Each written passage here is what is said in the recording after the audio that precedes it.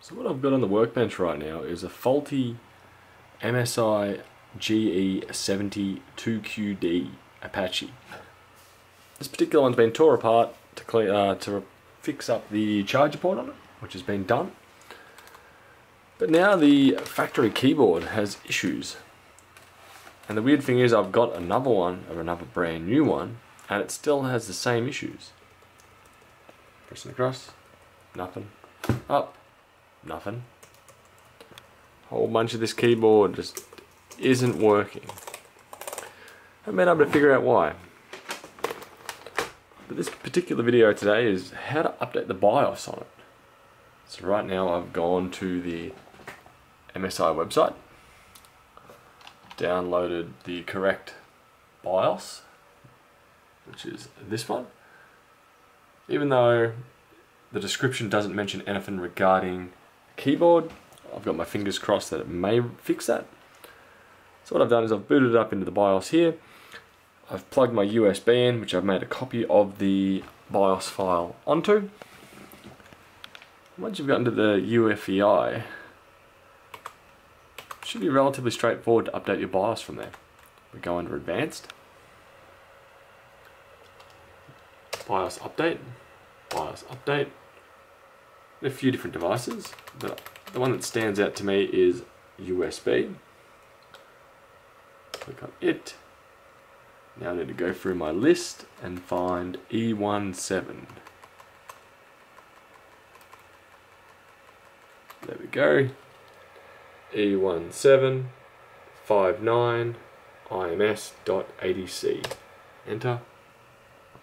Are you sure you want to update this file? Yes. System will power off and back on automatically. Okay.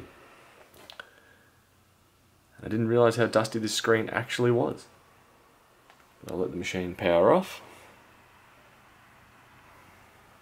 It just displayed the MSI logo.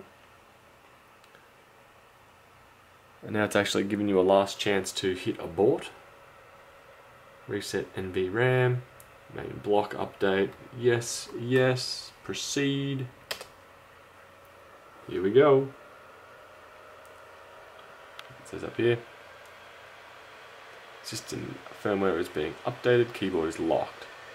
Don't turn off system. Don't bump your power cable. When it's finished, press any key to reboot. So right now you may be able to hear the fan revving up. Basically the machine's trying to do everything it can not to stuff up. So it's trying to avoid overheating, it's trying to avoid the keyboard accidentally being pressed. Once you get to this stage, all you do is hit the go button and sit back and watch. We go, flash update complete, enter, back at the power. Now we'll expect it to potentially take up to about 30 seconds to a minute to display anything on the screen. No, excellent. We haven't killed it.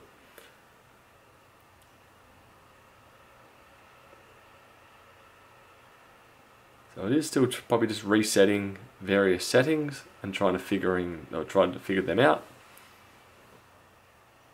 Bingo. There we go. So now we're starting up Windows. So there's a quick demonstration on how to update the BIOS on your MSI GE70. Catch you guys in the next video.